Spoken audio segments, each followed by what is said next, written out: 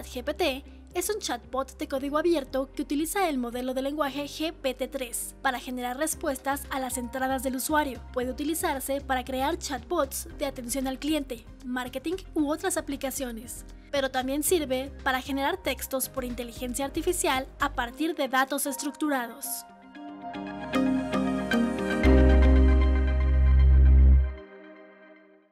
Bienvenidos a la tertulia de educación universitaria de la Universidad Nacional Autónoma de México un servidor Melchor Sánchez les da la más cordial bienvenida.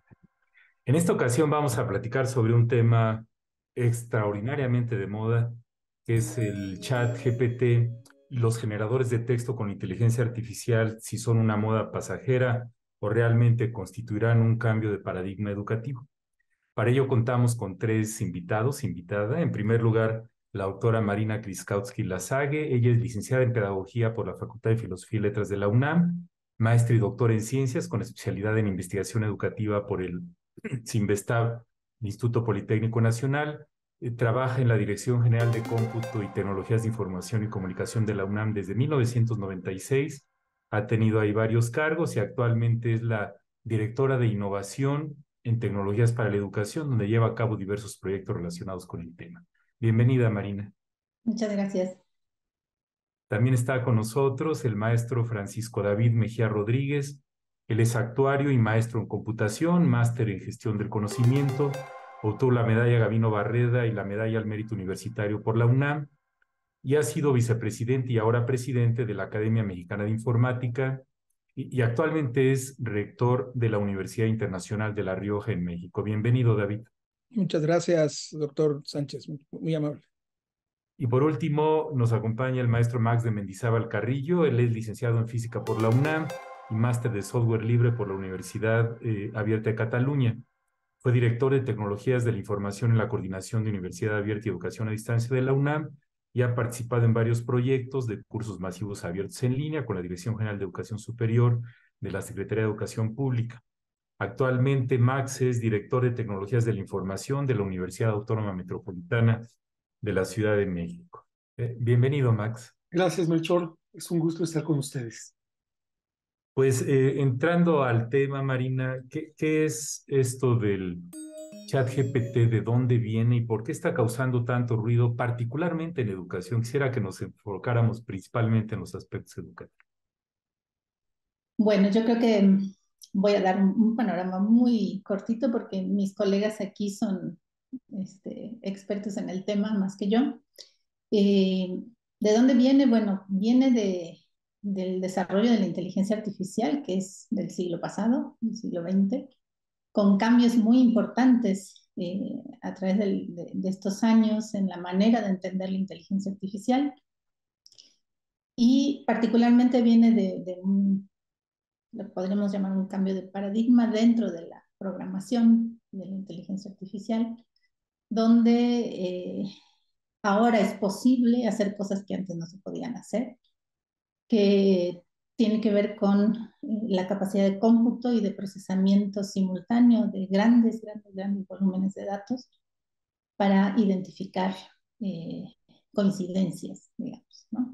Lo van a explicar mejor David y, y Max, pero lo que está pasando, bueno, el, chat particularmente, eh, GPT es, eh, en inglés es Generative Pre-Instructor o algo así, Transformer, que es un, agente que toma decisiones y que está preinstruido, es decir, está entrenado, y es un generador, en este caso, de texto. Hay otros generadores, pueden ser imágenes, ¿no? pueden ser otro tipo de inteligencias artificiales, pero este en particular genera texto y viene de la línea de inteligencia artificial relacionada con el procesamiento del lenguaje natural, que es cómo hacer que las computadoras, de alguna manera, utilicen el lenguaje natural eh, de una forma semejante a la que usamos los humanos. Uh. Nada más que los humanos son muy complejos. Y usamos el lenguaje de formas, eh, sí estructuradas, pero no tan previsibles. Entonces, más bien estos generadores de, texto lo que hacen es eh, ser entrenados a partir de modelos que se le, se le presentan al, algoritmo, al programa, para que empiecen a reconocer eh, determinadas cosas que los humanos categorizamos como, eh, por ejemplo, una traducción, ¿no? Entonces, eh, se, se, va entrenando el algoritmo para empezar a reconocer lo que sí es una traducción de un idioma a otro y lo que no es, y a partir de eso va generando eh, lo que se llama aprendizaje de máquina, que es que las máquinas aprenden de la cantidad de datos que tienen que analizar y van perfeccionando la categorización o la distinción entre tipos de datos. Em, ¿Por qué causa revuelo? Bueno, porque siempre en la educación causa revuelo cualquier cosa que sea nueva. Y sobre todo, pienso yo, porque el desarrollo tecnológico va muy rápido, genera cosas nuevas, herramientas nuevas, y los sistemas educativos eh, institucionales, digamos, son lentos. Digamos que es el polo opuesto de la transformación tecnológica. Los sistemas educativos se transforman muy lentamente, incorporan muy lentamente o a veces no incorporan las, eh, las novedades que hay, digamos, en la sociedad. Y nuestros sistemas educativos particularmente, que tienen en América Latina un origen muy similar y una estructura muy similar, tienden a eh, preservar la función original de la escuela, eh, que es una función de hace siglos y donde esa preservación hace que sea resistente a la integración de, cosas externas. Entonces, eh, te podría decir que el mismo revuelo que hay ahorita con el chat GPT, lo hubo con las calculadoras, lo hubo con el bolígrafo. Eh, to todas las eh, tecnologías que de alguna manera se perciben como posibles eh, transformaciones a la estructura de los sistemas educativos y de, de las formas en que los, los sistemas educativos proceden, se sienten como amenaza muchas veces. Entonces, eso es más o menos lo que, lo que creo que causa el revuelo.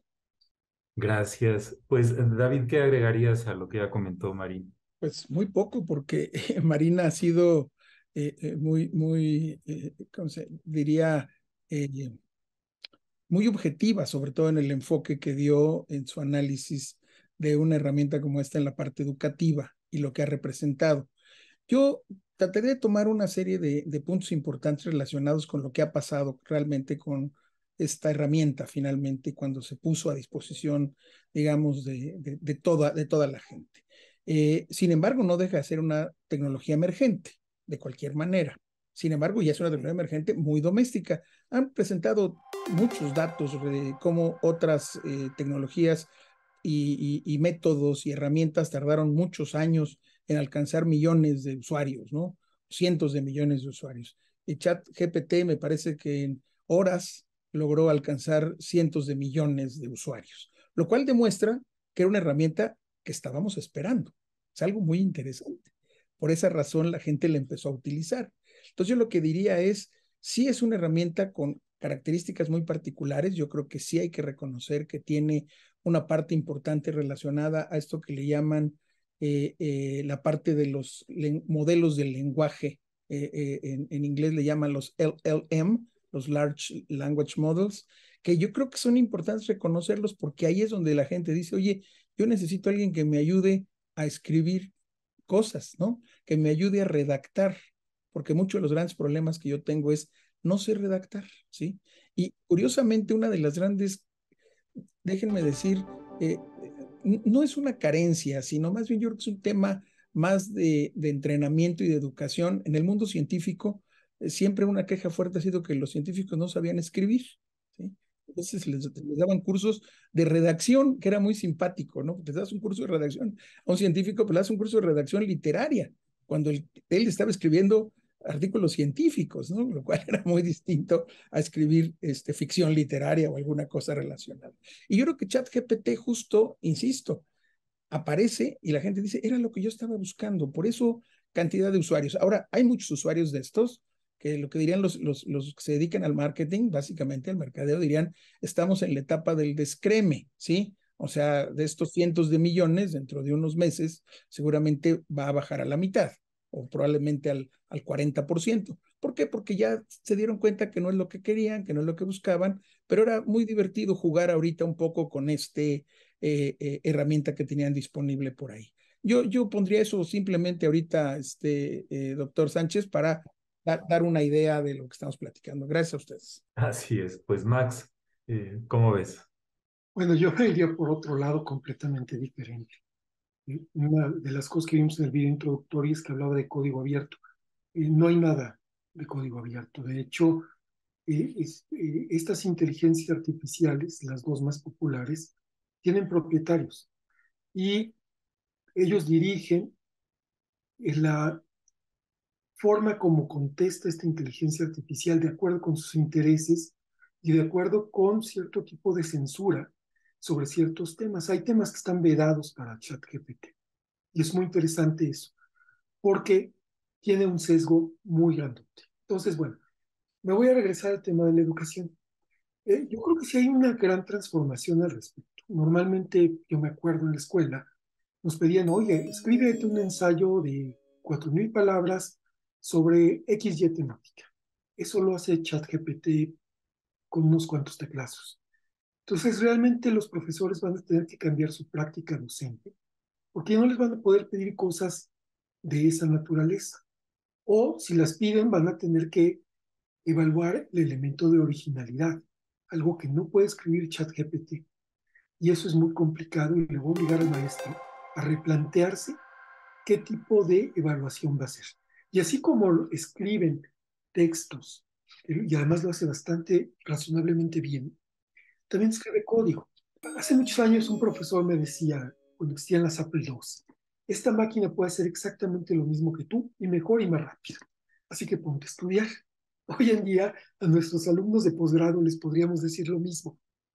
Las máquinas ya superan la capacidad de los estudiantes en muchos niveles. Entonces tenemos que darles el empujoncito para que sean más inteligentes que las inteligencias artificiales. Sería todo por ahora. Gracias. Muchas gracias, Max. Sí, efectivamente, eh, como comentan, es desde que se liberó esto al público en general el 30 de noviembre del 2022, como ya comentaba David, ha habido un enorme pico de adopción. Lo que sí es interesante es que en la historia de la humanidad ha sido la adopción que ha tomado menos tiempo para que la utilice más gente. Eh, y, y, viendo este, ¿cómo le llaman? El, el ciclo, el ciclo de Garner de, del hype, de lo novedoso, que primero hay un enorme pico de expectativas que generalmente son expectativas no realistas y después viene la caída esta al valle de la desilusión que le llaman para después buscar, buscar algo, algo más estable.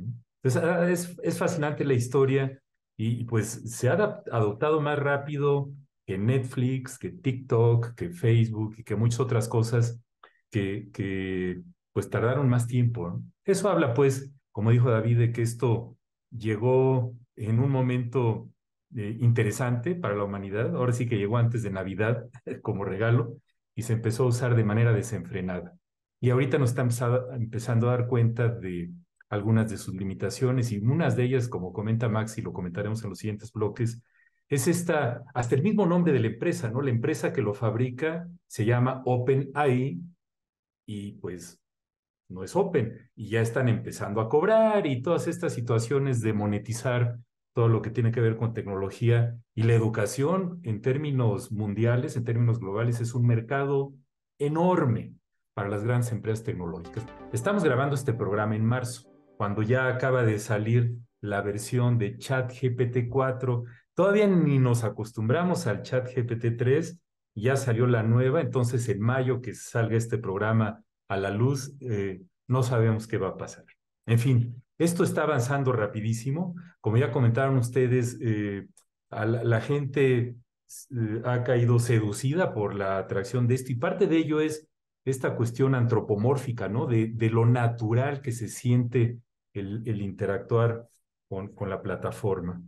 Pues, David, ¿cómo ves? ¿Cuál, ¿Cuáles son algunos de los potenciales efectos educativos, tanto positivos como negativos, desde el punto de vista de profesores y estudiantes y ¿Y qué implicaciones tiene para la enseñanza y la evaluación?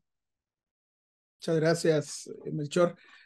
Es, es una, una pregunta realmente no, no simple, eh, como, como podrás entender, porque lleva, lleva implícitos muchos temas, sobre todo relacionados a, a una cuestión que tiene que ver con antecedentes, sobre todo en el proceso de enseñanza-aprendizaje. Y yo creo que ahí es donde tenemos un poco que, retomar los temas. Una de las grandes discusiones que hemos tenido en los últimos años, los profesores, particularmente en nivel superior, eh, eh, es enfrentarnos a un grupo de jóvenes que les cuesta mucho trabajo leer. Entonces, si les cuesta trabajo leer, les va a costar trabajo escribir. Ese es otro de los grandes problemas. Alguna vez escuché que me decían estos jóvenes que se reconocen como la generación millennial, por no mencionar a los centennial que ya están en nuestras aulas ahora de educación superior. Eh, decían es que nosotros somos muy visuales. Y les dije, pues la lectura es visual, casualmente, ¿sí? Esa es la parte más interesante. Entonces, déjame decirte que con ese, con ese antecedente, yo podría decirte que eh, herramientas como el chat GPT, independientemente de la versión en la que estemos, 3, 4 o la N, que podamos ver en, un futuro cercano, eh, son muy orientadas a que la gente pueda aprender incluso de esa lectura, de, esas respuestas que va a obtener en, este, en esta conversación con esta herramienta, pueda aprender en muchos casos a leer también y a escribir. Entonces yo le veo una parte positiva de lectura eh, y de escritura. Si, si lo vemos de, de, en la manera más, más más pura y yo diría y más silvestre de una herramienta como esta, que a veces siempre le queremos encontrar una solución compleja. Yo comentaba con algunos compañeros, al final mi, mi, formación un tanto matemática me decía, un día le pregunté sobre el teorema, las líneas, las líneas de Hamilton, y, y, me respondió muy bien lo que era una línea de Hamilton, ¿no? Entonces yo le dije, ah, bueno, entonces me puedes platicar muy bien de un paseo euleriano, y me paseó de un paseo euleriano perfectamente bien. Entonces uno dice, bueno, este eh, eh, pre-trained, como se llama esa P de GPT eh, Transformer, ¿no? Generative Pre-trained Transformer, pues sí estaba haciendo algo de alguien que le, que le introdujo una cantidad de información que además está disponible hoy en la red, que déjame decirte, muchos, muchas personas encontraron en un lugar una manera de hacerlo más simple, porque antes tenías que recorrer mucho más la red, ¿sí? si querías hacer algo de este estilo. Y, y, te lo voy a decir de una manera muy, muy simple. Recuerdo a alguien alguna vez escribiendo un eh, discurso de una toma de posesión de una asociación.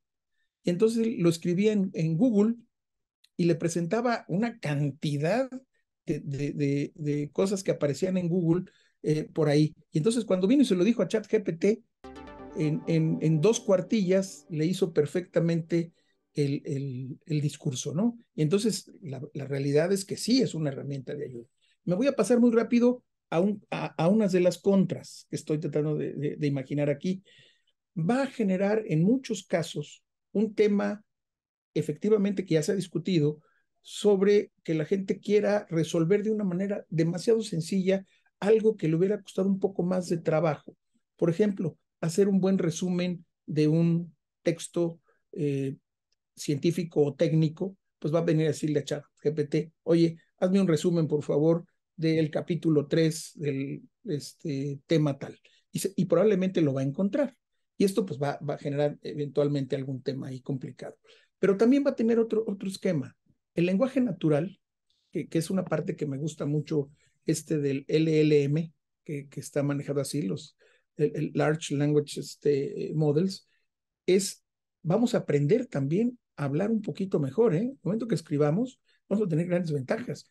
No no pasa como pasaba con Google, que tenías que ponerle las cosas perfectamente bien, el punto y coma, y qué querías, y te lo calificara para tener la respuesta. Entonces, yo en este momento, y, a lo mejor soy demasiado optimista, creo que puede tener más ventajas que desventajas. El punto de vista de evaluación, tenemos que cuidarlo muy bien, porque otra vez hemos estado metidos en esquemas tradicionalmente de las citas textuales, los códigos APA, etcétera y demás, ¿no? Eh, y, todo el mundo dice, oye, si no sabes citar bien, estás haciendo, estás cometiendo un plagio o estás este, tergiversando algún texto.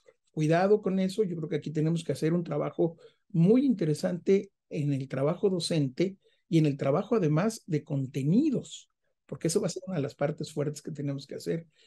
La gente que se dedica a curación de contenidos va a tener que trabajar muy bien para saber que esto no venga precisamente de un chat GPT o un equivalente de, de OpenAI, sino que sea algo que realmente le pueda permitir evaluar perfectamente bien al, alumno, ¿no? Este, yo lo de, esto da para mucho, Melchor. Aquí lo dejaría para, para no, no quitarles más este, eh, tiempo a mis compañeros. Gracias. Muy bien, pues Max, este, ¿cómo ves? ¿Qué comentarios? Bueno, eh, creo que David planteó bastante bien la situación. Yo nada más agregaría un par de cosas interesantes al respecto. Para empezar, el modelo que está operando en este momento es un modelo limitado. Y eso es algo que, bueno, pues de alguna forma nos beneficia. Podría haber alguien que dijera, escríbeme una tesis, y le escribirá una tesis. Y ese es un tema que tenemos que tener mucho cuidado. Ya hay herramientas que detectan si un texto está escrito con estas herramientas y eventualmente podremos checarlo. Pero no, sin duda, estas herramientas nos van a permitir escribir mucho más rápido. El otro día, por pura curiosidad, dije, voy a, voy a ver, estamos en un manual de procedimientos aburridísimo. dije, oye, escríbeme un manual de procedimientos de firma electrónica. Y lo escribió en segundos. Lo cual, pues, me hace pensar que de repente habrá profesiones que van a acabar siendo bastante inútiles y tendremos que transformar algunas profesiones para que hagan cosas más creativas, porque ya escribir un manual de procedimientos de muchas cosas lo hace muy bien una inteligencia artificial. En el tema de la educación, insisto, lo que tendremos que buscar es la originalidad y otras cosas que queramos explorar para demostrar que nuestro estudiante está aprendiendo lo que nosotros esperamos que aprenda. Si nosotros empezamos con prácticas muy tradicionales, el chat GPT es capaz de resolver todas ellas. Sería todo. Muy bien, Max. Eh, Marina, ¿cómo ves?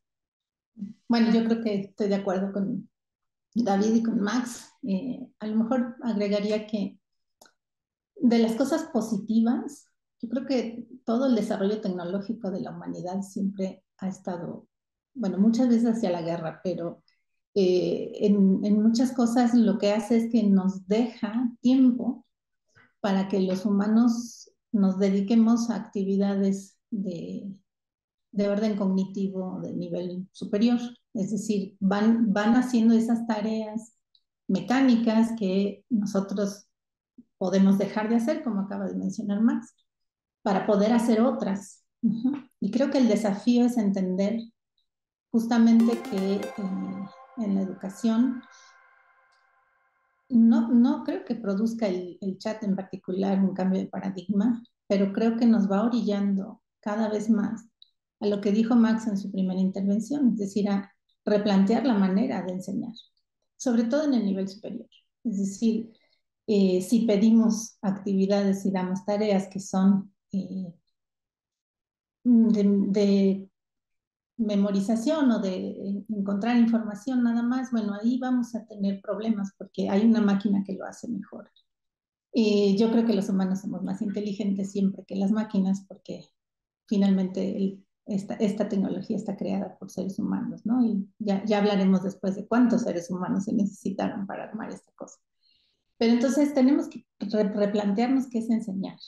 Y, y yo creo que eso nos lo viene nos viene orillando la tecnología desde hace muchísimos años. Eh, ya con Google y con todos los algoritmos de inteligencia artificial que tiene Google para la búsqueda, eh, nos viene diciendo desde hace muchos años, pues no pidas esas definiciones porque las, los chicos las van a encontrar en dos segundos, les van a copiar y las van a pegar. Y nos quejamos de que copian y pegan, pero no, no nos preguntamos, pues, ¿qué estamos pidiendo? ¿no? Si estamos pidiendo algo tan sencillo, pues es fácil, ¿no? Que hagan eso. Si le vemos el lado positivo, que creo que David lo dijo muy bien, pues realmente son auxiliares, este tipo de herramientas indispensables para manejarse en este mundo donde la información crece a, una expresión geométrica, ¿no? O sea, la cantidad de información que hay que poder consultar para hacer algo es, es inmanejable. También por eso creo que justamente es muy bien recibido el chat GPT, porque, porque uno, por más que busque en Internet, ¿cuántas fuentes va a poder consultar? Sin embargo, lo que te devuelve el chat es justamente pues esa búsqueda rápida, ¿no? Pero que de alguna manera es muy superficial, es decir, busca en la base de datos inconmensurable que tiene Internet, que tiene Google básicamente, y devuelve una buena síntesis. A partir de eso hay que hacerse preguntas, a partir de eso hay que trabajar, y, este es el desafío principal, pero que tiene que replantear tanto lo que entendemos por enseñar como lo que entendemos por darnos cuenta de si están aprendiendo o no. Gracias, Marina. Sí, nos la pasamos diciendo que aprendimos muchas cosas de la pandemia. Una de ellas fue para gran parte de la comunidad docente de todo el mundo el perderle algo de este miedo a la tecnología que le tiene todavía algunas personas. Pero lo que hace esta plataforma es, es sinceramente impresionante. Y, la, esta enorme limitación de que estaba actualizado hasta el 2021 por la, los datos con los que se entrenó y, que solamente podía recibir 2.000 palabras, actualmente en la versión 4 que salió ahora en marzo, acepta ya hasta 25.000 palabras y ahora también acepta imágenes. Además de que es más rápido, más preciso y como todas estas herramientas, está aprendiendo de lo que hacemos con ella. Entonces somos en cierto sentido como los eh, estamos ayudándole a estas empresas a generar un producto que puede tener más o menos ventajas, ¿no? Una de las grandes desventajas que, que yo le he visto es esto que de repente inventa cosas. Yo no había ido a hablar del término alucinaciones en inteligencia artificial como ha salido en los medios en las últimas semanas. Entonces, de repente el software alucina, inventa citas, inventa cosas y ahí es donde se requiere que la persona, el experto, en contenido en educación superior, sepamos de qué estamos hablando. Pues el, tema, el tema es fascinante y da, da para mucho. A continuación vamos a pasar a un pequeño cierre y los invitamos a continuar con nosotros.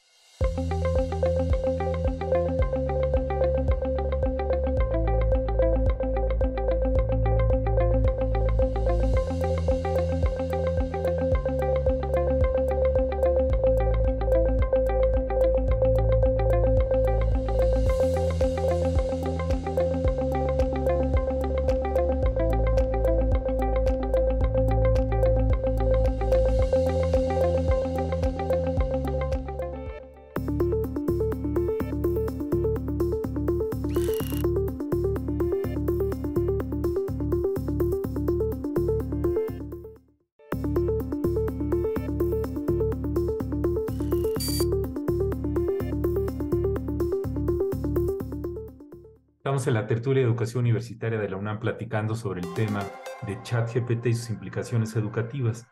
Eh, una de las cosas que se está planteando con estas nuevas herramientas es que la manera como interactuamos con ellas, esto que en inglés se llama prompts o, los retos, la, cómo, cómo les pregunta uno, se va a convertir en una de las habilidades más importantes para la sociedad moderna, porque lo que se está viendo es que mientras más sofisticado seas en la manera como interactúas con ellas, de mayor calidad es el producto que, que te regresa, ¿no? Y estaba viendo ayer algunas ofertas de trabajo para personas que sepan hacer estas, estas cosas con unos salarios en dólares bastante, bastante considerables.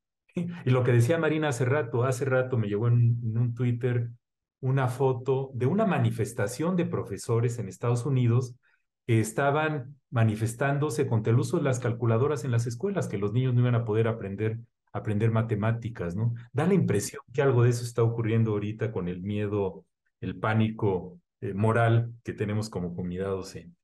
Pues, Marina, eh, esto todavía es un proceso muy dinámico, con muchas aristas, seguramente va a haber cambios muy importantes a corto, mediano y largo plazo, pero como ves ahorita, ¿qué, pueden hacer las universidades para promover que esto se utilice de una manera más sensata, más prudente, más académica?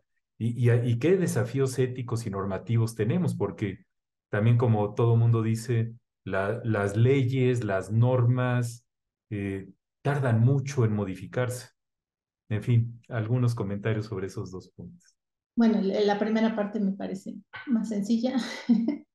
aunque es muy complicada. Pero, ¿qué podemos hacer? Bueno, creo que, esto de las calculadoras que, que, retomas nos muestra que prohibir la tecnología no tiene sentido, ¿no? Y, ¿Qué podemos hacer? Pues eh, yo creo que por más este, que sí ha habido cambios y cambios importantes, eh, en lo general, como sistema de educación superior, seguimos en un modelo de transmisión de información. Y ese modelo educativo de transmitir información ya no, no da para más, ¿no?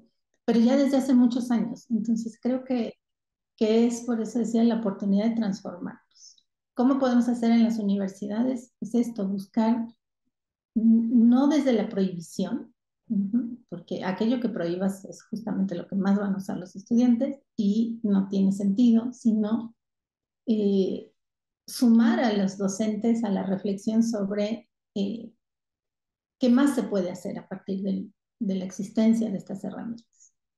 Que se vayan a adoptar como herramientas dentro de la educación superior, no lo sé. Como bien dijiste, pues ya se cobra por usar la versión 4, este, seguramente otras, otras versiones ya van a tener este, un costo más alto, no todos van a poder utilizarlo. Entonces, creo que siempre hay que tener esto que decía en la primera intervención, de que los sistemas educativos tardan muchísimo en transformarse y en adoptar ciertas novedades que surgen en la sociedad, puede ser algo bueno en el sentido de parar, reflexionar y ver qué tanto pueden ser aprovechadas las herramientas siempre que tengamos un uso eh, consciente, didáctico, de para qué las vamos a usar. Creo que esto es lo que toca con respecto a, las, universidades en general. ¿Para qué podemos utilizar herramientas que pues, nos dejan libre una tarea mucho más creativa? O sea, podemos usar nuestra eh, capacidad cognitiva para hacer cosas mucho más creativas. Entonces, por ese lado creo que, que hay que trabajar así. Eh, así como le encontramos a la calculadora cosas maravillosas que pueden enseñar a pensar a los niños. Todo lo contrario de no van a aprender matemáticas, no, muy por el contrario. Se pueden hacer cosas maravillosas para aprender a pensar y a resolver eh, problemas matemáticos desde, desde la primaria. Pues tenemos que empezar a pensar cómo utilizar eh, todas estas herramientas para poder hacer actividades creativas que lleven al aprendizaje. En cuanto a la parte ética, pues Mira, creo que sí, eh, como bien dices, generalmente pues, la normatividad llega después, ¿no? Eh, pues así es el sistema jurídico también, ¿no? O sea, la, ley llega después de que pasan cosas y se necesita normar. Y creo que todavía no estamos en condiciones de pensar eso. creo que la parte ética también es parte de la educación. Y más que prohibir otra vez una herramienta, uno a lo que viene a la universidad no es solo aprender un contenido específico de una disciplina o de, una profesión, sino aprender a ser una persona, en el sentido amplio de la palabra. Y la formación ética que tenemos que dar a nuestros estudiantes debería ser una tarea de todos, ¿no? No tenemos clase de educación cívica en la universidad, porque eso es algo que deberíamos mostrar y enseñar todos. ¿no? Te estás comprometiendo para ser un profesionista de tal área y eso implica un compromiso ético. Entonces creo que la ética es parte de lo que deberíamos enseñar. Y no preocuparnos tanto por si lo vamos a prohibir o no lo vamos a prohibir o, o cómo lo vamos a normar. Así es, Marina, muchas gracias. Pues David, ¿cómo ves? ¿Qué agregarías?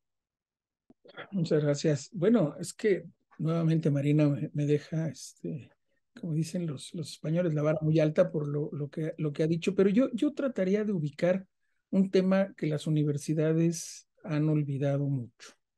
Y casi siempre la industria les lleva varios pasos adelante. Entonces tenemos que trabajar muy bien en las universidades para que las herramientas que nuestros alumnos, nuestros docentes tengan, estén al menos cercanas a lo que la industria está trabajando. Y cuando me refiero a industria me puedo referir al servicio público y al servicio privado y todo, o sea, lo que ocurre fuera de la universidad. ¿Y, a qué voy en este sentido con el, con el mensaje? Eh, efectivamente, como bien dice Marina, en un tiempo algunas, eh, algunas tecnologías emergentes fueron prohibidas incluso en las universidades porque se veía como que no iban a ayudar, sino que iban a ser un, un, sesgo, sobre todo en el sentido de que iban a, volver más flojos y más dependientes a los alumnos de estas tecnologías. Pero lo curioso es que en la industria se usaban. Entonces, cuando otros alumnos salían, daban cuenta que no sabían usar la herramienta que afuera sí se estaba utilizando. Herramientas como, como ChatGPT va a ser utilizado en la industria totalmente, porque va a ser práctico, porque les va a dar ventajas. Porque además, por ahí leía yo un artículo reciente que decía, es, hacía la pregunta, ¿es ChatGPT realmente una tecnología de, de uso general? ¿No? Y la respuesta es sí. Entonces, si es una tecnología de uso general, pues la va a poder usar todo el mundo, la van a poder usar las, las, la, industria en todas sus líneas, ¿no? Y me refiero, por ejemplo, a, al sector público, al sector privado, a, este, a, la, a, a, las iglesias incluso, van a poder hacer uso de toda esta tecnología. Entonces, yo creo que lo que tenemos que buscar las universidades en ese sentido es cómo hacer que esta tecnología nos ayude realmente a entender cómo estamos avanzando. Otra vez, la, la calculadora ayudó y ayudó muchísimo en algunas cosas. Pero no solo eso, la computadora ayudó a muchas cosas, ¿no? Que los alumnos pudieran utilizar herramientas para eh, hacer sus documentos, ya no tienen que ser una máquina de escribir, ¿no? Este, eventualmente que hubiera internet hizo que la visita a las bibliotecas físicas fuera menor, ¿sí? Mucho menor, pero además los que iban a las bibliotecas públicas este, eh, presenciales tenían una manera distinta de buscar, habían aprendido una manera de buscar. Esto que, mencionabas hace un momento, Melchor, de decir, vamos a tener gente que sepa preguntarle a estas herramientas. Entonces, vamos a cambiar, sin duda, es, por eso decía yo, yo soy muy optimista en esto. Pero entonces las universidades tenemos que entender muy bien este uso. Cuidado. También estoy de acuerdo en que el aprendizaje de un dispositivo como este, la inteligencia artificial, puede sesgar una serie de elementos equivocados. Es más, puedes provocar una serie de elementos equivocados y distorsionar algún tipo de información. Ahí es donde entra la parte de la ética global, tanto de los que están trabajando, alimentándole a la máquina de aprendizaje de, de, y de entrenamiento de, de herramientas como esta, como a los mismos que estemos dándole el uso adecuado en ese sentido. Entonces yo creo que por ahí va un poco, eh, Melchor, mi, mi, punto y, y, desde luego muy de acuerdo con lo que Marina menciona. Muchas gracias, David. Pues Max, eh, ¿cómo ves? ¿Cuál es tu opinión? Bueno, esa es una pregunta bastante amplia de resolver o de responder. Yo lo primero que diría es usen el chat GPT el 3 o el 4 o el que tengan acceso, o si tienen Bing, usan Bing, suscríbanse para estar en la lista de espera, porque vale la pena experimentar con él. Les puede ayudar en muchas cosas cotidianas, de tareas eh, estándar, de cómo podemos aprender más rápido. Y la mejor forma de aprender es usando las, las herramientas de inteligencia artificial. En este caso, son de acceso abierto y para pocas consultas no tienen ningún costo.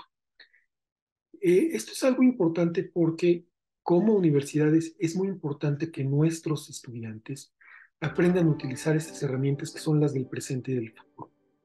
Entonces, e, es innegable que son herramientas que llegaron para quedarse. Ese es el primer punto. Con respecto al tema de ético y normativo, bueno, pues eso me puedo extender un poquito más. Hay muchos puntos grises aún con respecto al uso de estas herramientas. Por ejemplo, una forma de evaluar muy estándar en las universidades, sobre todo en las áreas de humanidades, es escriban un ensayo sobre tal cosa eh, de tal extensión y debe tener las fuentes bibliográficas de tal o cual tipo. Y eso lo hace muy bien ChatGPT 3 y 4. Entonces, realmente ese tipo de trabajos vamos a tener que dejarlos de lado. O bien, decir, vamos a consultar con herramientas para saber si lo escribieron ustedes o utilizaron estas herramientas de inteligencia artificial. Entonces, pues realmente ahí nos va a cambiar un poquito el asunto. Y por supuesto vamos a tener que hacer una promoción sobre el comportamiento ético que deben tener nuestros estudiantes y por supuesto nuestros profesores e investigadores con respecto al uso de la herramienta y que cuando utilicen esta herramienta, pues decir, así como citamos un libro, que utilizamos esa herramienta para obtener al menos una primera versión de la información y luego investigamos más por nuestra cuenta sobre fuentes que no están en estas inteligencias artificiales. Una cosa muy importante con estas herramientas es que su base de datos, su conjunto de datos, está recolectando información del Internet. Entonces hay muchas cosas que no están en Internet, en particular libros, documentos antiguos eh, y mucho otro tipo de información que simplemente no existe ahí. Y que bueno, pues en el caso de algunas eh, disciplinas como historia, pues bueno, no será problema porque tendrán que irse a fuentes bibliográficas reales eh, y en papel todavía, porque no están digitalizadas. En, otras, en, otro tipo de campos de estudio, donde casi todo está en eh, Internet, como por ejemplo los campos de cómputo, pues bueno, tendremos que ser mucho más cuidadosos de cómo los estudiantes hacen su trabajo. Sería todo lo que yo tendría que decir al respecto y estoy seguro que las normas van a cambiar para poner estas reglas como las que estoy sugiriendo en este momento. Les agradezco a los tres sus comentarios y a continuación vamos a escuchar a la doctora Yolanda Campos, académica de la UNAM, sobre cómo utiliza o cómo utilizaría el chat GPT en el aula.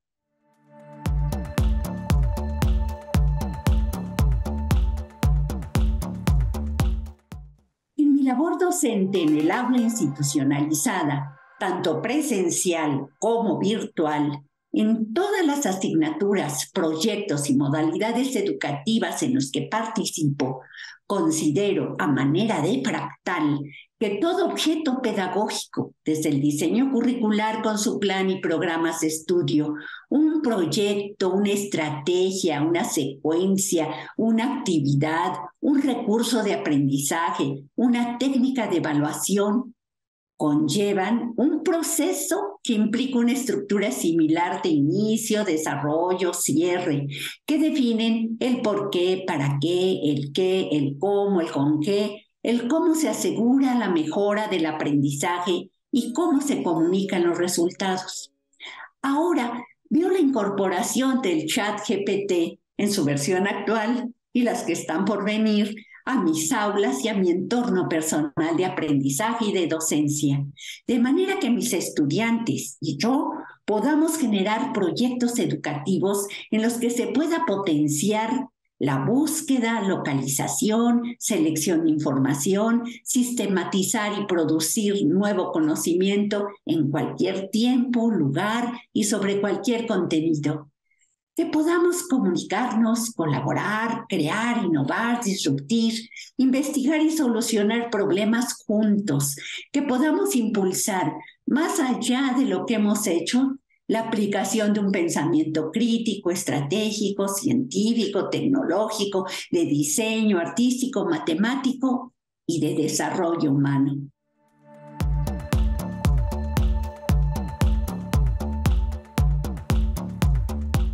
Estamos en la tertulia de educación universitaria de la UNAM platicando sobre el chat GPT y sus implicaciones educativas.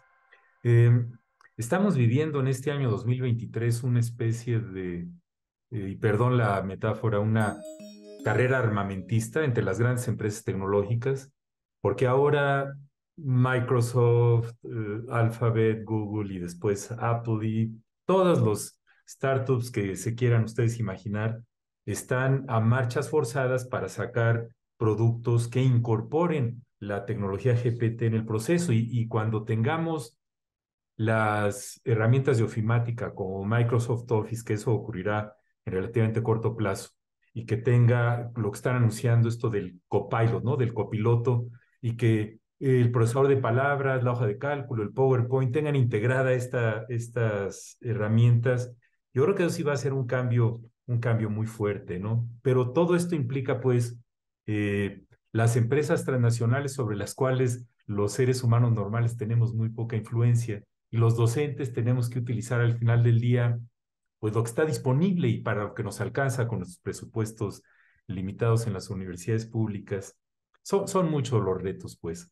Eh, David, ¿cómo, ¿cómo ves? ¿Qué reflexiones finales después de todo lo que hemos dicho quisieras compartir con la audiencia y para, para dónde ves que camina esto. Muchas gracias, Melchor. Mira, el reto importante es lograr que herramientas como ChatGPT tengan justamente un reconocimiento de lo que están aportando y que la gente les dé la utilización adecuada. Otra vez, el gran, el gran temor va a seguir siendo, oye, pero es que pues ya no van a aprender a escribir, ya no van a aprender. Yo, yo lo que digo es, las herramientas de oficina, mencionábamos hace rato Word, por ejemplo, pues Word te corrige la, la, la ortografía, ¿no? Pero te digo algo, te está enseñando cuando te está corrigiendo la ortografía. Te está dando una lección te diciendo, y te equivocaste aquí, ¿sí? Esta, esta palabra lleva el tilde en este lugar, esta palabra, la, después de la coma tienes que dejar un espacio, este, después de esto tienes que hacer. Este tipo de detalles tan burdos, hay gente que no es capaz de escribirlo, ¿no? Pero hoy, cualquier herramienta que te permite escribir, te está corrigiendo, te está enseñando, te está mostrando cómo lo puedes hacer y además en diferentes idiomas. Es, es, otro de los temas interesantes. Vas a poder empezar a tomar, yo te puedo decir, yo no me extrañaría que herramientas como ChatGPT te puedan dar un curso de inglés el día de mañana y te enseñen a escribir en inglés y hablar en inglés. Porque si bien ya mencionamos, ya, ya empiezas a tener imágenes, vas a tener sonido. Entonces vas a empezar a aprender a pronunciar correctamente algún tipo de cosas. Entonces el reto está, está dado, yo creo que está presente y, y el tema es entenderla así. Si es una herramienta de propósito general, vamos a utilizarla como tal, ¿sí? Vamos a utilizarla en cualquier medio, porque se la puedes usar en teléfono móvil, como la puedes usar en una, este, en una eh, eh, red web, como quieras, sin ningún problema. Pero quizás el, el punto al que tenemos que, que tener cuidado es otra vez montarla sobre una base sólida de entendimiento entre todos los que la vamos a usar. Y ahí es donde creo que las universidades, bueno, en general la educación, todos los que trabajamos con la educación, tenemos que, formarnos en ese sentido para decir, oigan, cuidado, como lo hicimos con las herramientas de oficina, también, ¿no? Con, este, la gente dice, oye, la gente ya no sabe hacer cálculos, pero los hace Excel. No, también te corrige y también te enseña a hacer cálculos, ¿no? Y te enseñan a hacer presentaciones, te enseñan a manejar imágenes, nos enseñaron a tomar fotografías. La cámara fotográfica es un gran, gran invento de, la humanidad y éramos malísimos tomando fotos, ¿no? Hoy todo el mundo es un gran fotógrafo. Hoy todo el mundo es un gran fotógrafo. Entonces mañana vamos a tener a gente escribiendo textos realmente completos, sin la necesidad de estar imaginando cómo lo puedes hacer y dedicando tiempo a hacer cosas incluso mucho mejores, ¿no? Y no, no, no, no perdiéndote en ese tipo de cosas. Entonces, mantengo mi optimismo en ese sentido, Melchor, muchas gracias. Muy bien, David, muchas gracias. Y precisamente la enorme versatilidad de este tipo de herramientas es la que nos da un horizonte amplísimo de, pues, de cosas que se pueden hacer. Marina, ¿algunas reflexiones finales? Bueno, yo cerraría insistiendo mucho en el papel de los humanos, ¿no? En, en, en todo este proceso que significa aprender y que las interacciones entre las personas son fundamentales y que tenemos en la tecnología un conjunto de herramientas disponibles, muchas de las cuales no fueron creadas para la educación, por supuesto, pero que nosotros somos como humanos docentes los que les encontramos el uso didáctico. Eh, lo que hizo Google con los documentos colaborativos no lo hizo para la educación. Después generó ¿no? las Google Apps for Education, pero primero lo hicieron, no sé exactamente con qué intención, pero el, el, pro, el provecho educativo que se le puede sacar a eso es infinito. Entonces, pues tenemos que seguir siempre al mando, es decir, siempre pensando cómo, para qué, ¿no?